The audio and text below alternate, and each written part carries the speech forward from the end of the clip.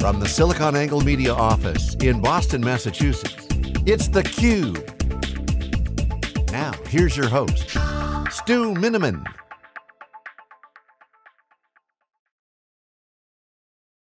Hi, I'm Stu Miniman with theCUBE and welcome to a special presentation from our Boston area studio. Happy to welcome back to the program Mike Gersten, who's part of the executive team at Software One, works on innovation and strategy. Yeah, Good thanks to see you. Thanks for having Mike. me, Stu. I appreciate it. Yeah. All right, so Mike, you know, this year, last couple of years, I feel like we've been getting some clarity as to this whole this cloud stuff we've been talking about for, for more than a decade. The conferences I go to, the customers I speak with, whether they call it hybrid cloud or multi-cloud, they're getting their strategy in shape. Um, it is not a singular, you know, one solution, you know, one cloud to rule them all type thing. Um, they've got their data center. Uh, we've all been figuring out, you know, SaaS since you know Salesforce and others, you know, rolled that out now, gosh, like 20 years ago. Yeah. Um, and you know, public cloud, of course, is, is, is growing. You talk infrastructure as service, the platforms on top of it. But you know, customers, it's their data, it's their applications, uh, and there's just operational models that are changing. Uh, you know, pricing models. Uh, you know, some things are the same, and some things change drastically. Uh, but uh, you know, bef- before we get into it, why, why don't you, for, for people that don't know Software One, you guys. Uh, uh, say you're one of those hipster cloud people. You, you were doing a lot of these things to set up for the cloud world uh, before we were even talking about cloud. So, so give us kind of the thumbnail on the company. Yeah, I mean, we're, we're a 30-year-old com company. You know, we're in 85 different countries, and so this is not a, not a new uh, space for us. Certainly, software portfolio management is, is our domain. We, we look at that, that cloud world, and we're, we're amazed at the, the speed with which it's growing and how many new entrants there are in it. We have the born in the cloud, as you will call them. Uh, we kind of see ourselves as born again in the cloud. We've been managing software portfolios for our customers for decades. Yeah. Yeah. So uh, last time I spoke with you was back at Amazon reInvent last right, yeah. last November. Um, you know, Microsoft, VMware, you know, Oracle, big software companies, been around a long time. All have either rejuvenated or you know new pieces as to how they fit into that software world. We were recently at VMworld. Uh, it was like VMware's pushing to be more of a SaaS provider, not Yeah. just an infrastructure provider. Um, when you talk to your customers, how are those relationships with their software providers? How how sticky are they with a company versus a product, or uh, you know, take us inside a little bit how that dynamic works. It, it's more complex than it's ever been. I mean, the promise of SaaS in particular, or cloud in general, was that you know customers would have more flexibility, more agility. They would be able to uh, you know shift the financial uh, management of their software portfolio from a capital expense to an operating expense, and this was appealing to them, uh, and it still is appealing to them, and it's certainly appealing to the software publishers as well because you know they move from having to renew a contract every year, every three years, whatever the terms of those license agreements are, to having, uh, in essence, a relationship in perpetuity with these customers. That's the good news. So it's mutually beneficial, I think, for the publisher and the customer. The bad news is that it's introduced a new set of complexities that I think were unforeseen by many of our customers. They you know, have now empowered shadow IT in ways that they had never imagined they would before. People are buying countless SaaS, in our customers, they're buying countless SaaS applications with credit cards. Uh, you know, in, in HR, in, in, in marketing, uh, and the procurement officer has no idea it's happening. The CIO has no idea it's happening. And so they're having a harder time really understanding what are they truly spending on software. Yeah, uh, it- it's a, you know we're a relatively small company, and even for us, we were like, oh, well, SaaS should make it easy. I can grow as I need. If I'm not happy with the provider, I can change.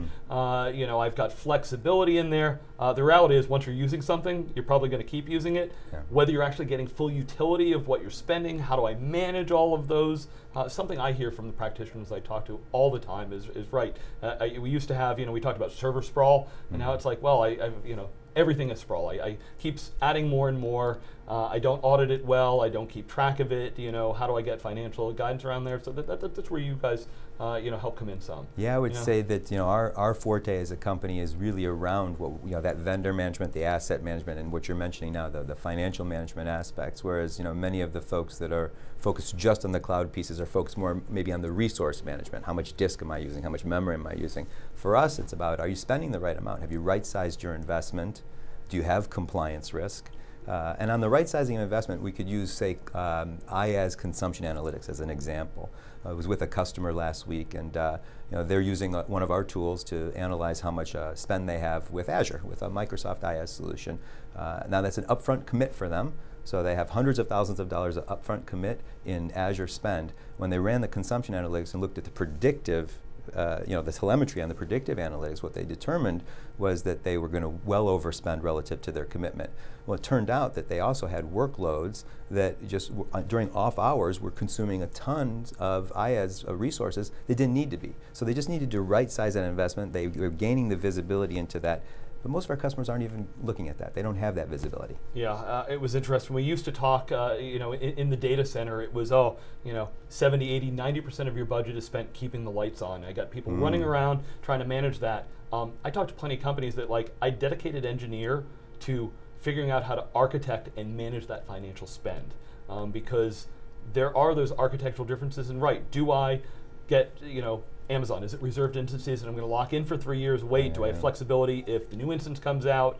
Um, am I actually using what I spent? Do I have to worry about the resale market? I mean, it's it's a really cloud was supposed to be simple. It was supposed to be easier, right? Yeah, yeah. How do we get here? Yeah, yeah, that's right. And it's funny you said earlier that you know most of these companies now have their cloud strategy. I'd argue that it isn't a cloud strategy they have. What they have is a document that acknowledges they're consuming cloud now, right? And, and they truly are. They're, they're, they're, they're consuming a ton. They're just not really sure how much, yeah. uh, and that's a challenge for them. You know, in the old world, in the on-premises world, I shouldn't even say the old world. 85% of our customers' software portfolios is still on-premises today. So we're really talking about the, the, migration to cloud, which makes up maybe somewhere in the range of 15% of that portfolio. But, but in the old world, we used to look at what is a customer entitled to use? What is their license agreement with the vendor? And we would compare that to what they've installed or consumed, you know, their inventory or, or the use of the, the applications on the on-premises world. In the cloud world, it's the same formula. It hasn't changed, but now the entitlement is a subscription, and the, on the other side of the equation, there's no inventory. It's just all consumption. So we're just comparing consumption to subscription. Yeah, Mike, I, I love your, your, your discussion of, of, the strategy there. It's like uh, forecasting. If we look backwards, we're always really good at under, kind of justifying what we have. Uh, maybe strategy is just like, yeah, I've kind of figure out where I am today, yeah. um, and at least that's a base point. Uh, so, so it's a good first piece. But right, yeah, where do I figure out going forward? Um, Want to pick up on, on, the application discussion because yeah, yeah absolutely. Look my data center or my hosted environment where you know really I own and manage a large part of the stack. It's where a lot of stuff is today. Uh, Wikibon we've been writing for the last couple of years what we call true private cloud, hmm. which is how do I get the operational model and efficiencies that I'm promised in the public cloud. We can argue whether or not it's true or not. Yeah. Um, in my own environment, uh, and a lot of that is is that application management. Any, any, great trends that you're seeing? I mean, everything from you know we, we say what gravity is there around certain public clouds. Of course, you know Amazon was really good at the start with developers. Microsoft, of course, has a huge application portfolio. Oracle doesn't get discussed as much in kind of the cloud world, but they have a huge cloud push they're SaaSifying much of what they have, and they've got some of the stickiest applications, you know, in the world. I'm sure your customers talk to you lots about Oracle licensing yeah. uh, and, and, the like. So, what trends are you seeing? You know, we've looked at, you know, this year we've been arguing a little bit, you know, lift and shift. Is it a waste of time? Is it super sexy because it gets me to move on to something different? You know, what are you hearing from your customers? How do they look at their application portfolio and, and try to manage that? And, and, and where, where does that get your team involved? Yeah, I think in, in the on-premises world that they were always tools to manage that. Uh, you think of operations management tools or software distribution tools. Uh, those tools just change. There's, there's, a there's a need for software management tools in the cloud space, but they're not distribution. They're now things like what you were mentioning, telemetry, uh, to ensure that uh, uh, that I've matched my my you know uh, subscription to what I'm actually consuming, um, or for that matter, compliance. Uh, now, you, you, mentioned workload lift and shift, and I do think it's sexy for what it's worth. I think there's a great opportunity there uh, because you know, many of these workloads do belong in the cloud. What I'm, what I'm a little dubious of still is whether or not it's just a tools play. I don't think that we're going to be able to just go out and say, I can, I can use this tool to evaluate my applications and say, this application belongs in this cloud environment, and I can press this button and it will move. I think you need people to help with that. I think you need really intelligent consultants to help with that, and it's a combination of the tool set and, and the intellectual capital that you bring to it. No, Mike, and I'm with you, and I, I, I'm, I'm a little torn on lift and shift, because the one hand, I'm worried about taking something old, putting it in the new place, and not doing something different with yeah. it. Um, because as we know, I want to be able to take advantage of those flexibilities. But if I get it on the new platform, there's the opportunity to leverage new services. Maybe I can start pulling apart pieces of it. Um, and it, it, gives me options to make updates. You know, I, have I've talked to people that work on research of let's just not talk the application. Let's talk about the productivity, of the people behind that. Yeah. Um, and you know, I, I, know lots of people. You talk healthcare. You know, I'm running on software systems that are 20 or 30 years old. Sometimes, you know, it takes a long time to change. There's so many interdependencies. Um, it's one of those things. You know, IT is really tough. Uh, mm. And if you talk, you know, enterprise simplicity, uh, I, I, say is really an oxymoron. So, you know, we, we need to make steps in the right direction. Um, replatforming is, you know, a, a, first way to, to get in that direction. Yeah, agreed. Yeah. All right. Um, we've been talking to SoftwareOne uh, since the launch of a product called uh, PureCloud. Yeah. Uh, so, uh, why, why don't you give us the, the, update on this? You know, what's what's the latest with it? Before you get into, I know there's some new features mm. from when, when, the product was first announced today. What learnings have you had? What's been the kind of embraced by customers, and, and, and how have things baked out over the last year or so? Yeah, we look at PureCloud. I'm trying to think of the best analogy. Um, you know, maybe if you look at um, you know the the expense management systems that are out there, like a Concur and Expensify, for the category of expenses, uh, what they do is they capture all that that data, all of your expenses, and it's one place where now you can you know easily you know create the report, submit it for, for reimbursement. But they also have connections into the, the vendors for hotels and flights, and so you can actually purchase those things through the expense management tool, right. and then that that point of purchase is captured. That data is already in the system. Huge advantage. We do the same thing, but for the category of software.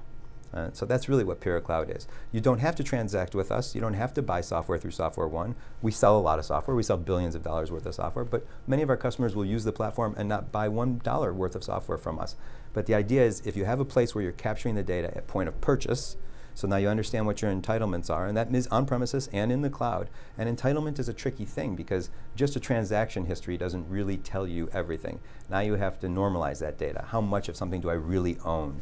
How am I allowed to use it? You need to enrich that data. Uh, do I have upgrade, downgrade privileges? Can I use it in certain geographies and not in other geographies? Once you have all that, that information on the transaction ownership from the point of purchase, you can now compare it to, you can, you can look at it against how you're using it. And that exists in the cloud and that exists on premises. Uh, it's a new dynamic for a lot of companies in the cloud um, because they don't have visibility into it at all. Uh, in the on-premises world, they've been looking at it, but they haven't been. They've a lot, many of them have been looking at it from one side of the equation backwards, which is the inventory side back to the entitlement side. Yeah. So they might say, "Oh, I went out and I discovered all this software that I'm using in my environment," but they they don't have the entitlement data, so they don't know, "Am I allowed to be using it this way?" So I'll walk through it really quickly with you. If the entitlement is greater than the inventory in the on-premises world, then you've purchased too much. You need to right-size your investment. Right? That's an easy, easy math for a customer. And if the inventory is greater than the entitlement, well, then they have a compliance issue. And we all know that some of these big software publishers will come after them and hit them with a big bill they weren't expecting. So. Yeah, uh, it's it's one of the things that's really exciting me about kind of the world of software these days is there's platforms like what you're talking about. Once I kind of aggregate the information, uh, there's a lot of intelligence that can be uh, uh, uh applied to it. Um, and can you talk to me about how much do I need people involved? How much do you have the, the finance people in there? And how much is just the intelligence in this system? I don't know whether you call it AI or ML or yeah. uh, whatever you have, but you know, gosh, for years in, in the kind of the data world, it was like, oh, well, I don't have the metadata. And now a lot of this can be self-finding. I, I, once I get it in the system, it, it, they can learn a lot on themselves and, mm-hmm. and, enable a lot of activity. Yeah, I'm glad you mentioned the term metadata yeah. because uh, I think that's the kind of the foundation of our platform. It's really how we go about tagging resource management, right? Uh, so we will tag, create metadata for every resource that's in both a cloud or an on-premises environment. Uh, and that's important because if you, let's use the cloud world as an example. The cloud providers have tagging systems built in, but all of them are different. Yeah. All of them use different nomenclature, some of them don't have any at all. And so you have to have some kind of overarching tagging mechanism that, that uh, kind of reconciles that across everything, an aggregation layer, if you will.